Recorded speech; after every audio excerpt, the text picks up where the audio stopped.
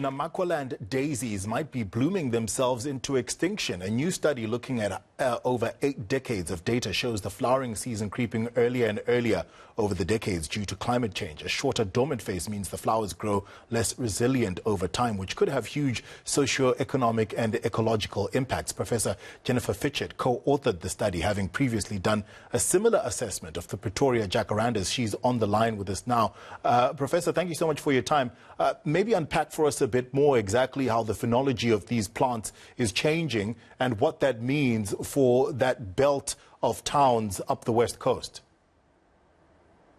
Sure. So this is something that is being experienced, as you've mentioned already, across different areas of South Africa, but also globally, as a response to climate change. And indeed, it's one of the most biologically sensitive responses to climate change, and one of the things that we can most clearly see as humans. We can't easily feel the 1.1 degree increase in temperatures that's been experienced over the past century, but we are able to see that our jacarandas are flowering earlier and that our Namaqualand daisies are flowering earlier.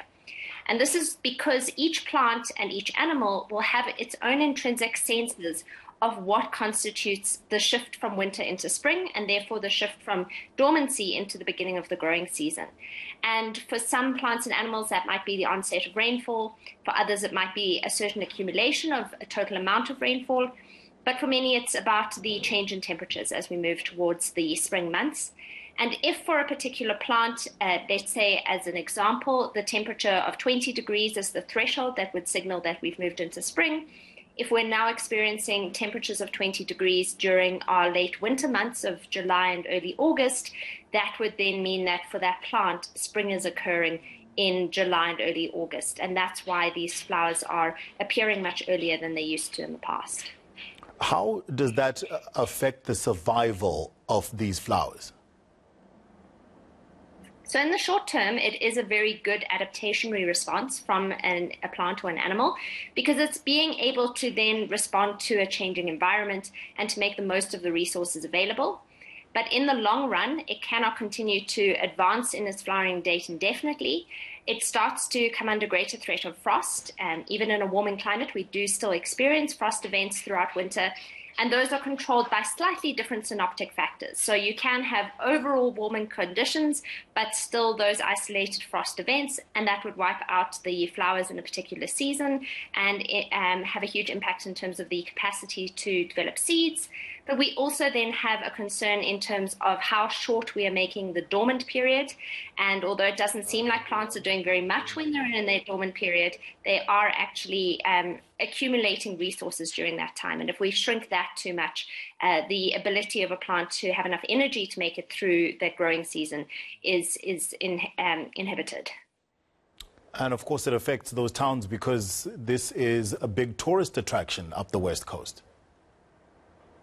Yes, absolutely. And um, there's not a huge amount of um, attractions in that area. It is a very uh, drought prone area, and there aren't many different types of, of tourist attractions. So the flowers are really important for that region.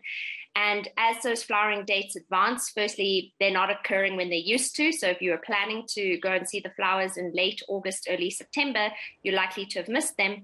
But as they advance, they're also becoming more and more unpredictable in their dates. And that makes it really challenging for a tourist to know when to go to the area. But more importantly, it's difficult for that tourism sector to continue to attract people regularly and to be able to advertise when that flowering season is likely to happen. All right. Will the will the change in timing of these biological uh, events for the Namaqualand daisy have any effect on the ecosystem as a whole? Yes, absolutely. And it's one of the big concerns. Um, firstly, in terms of the strength of those plants themselves, many of them are endemic to the Namaqualand region and to South Africa. And so, if they are put under threat as a result of the shifts um, from climate change, we may lose out on some of those flowers that we don't have anywhere else. But then a second concern is that every plant and animal has a slightly different set of triggers for what constitutes spring, and therefore are advancing in their phenological events at a slightly different rate.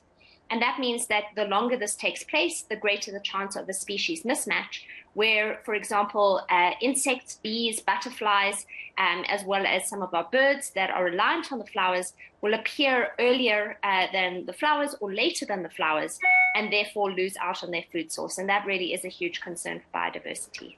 Yeah, when people hear the word biodiversity, Prof, they almost switch off because they feel like, well, it's got really nothing to do with them. But how does the loss of biodiversity affect you and I, the man on the street?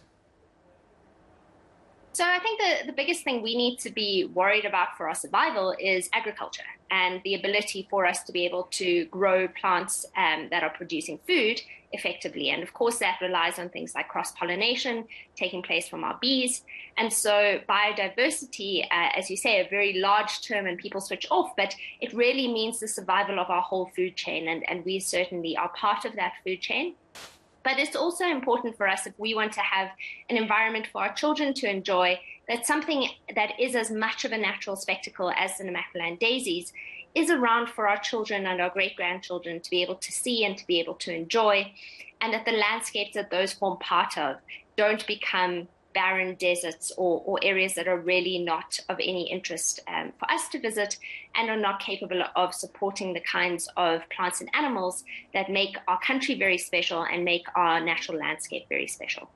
All right, Prof, thank you so much for your time. We appreciate it. Professor Jennifer Fitchett of the Wits School of Environmental Studies.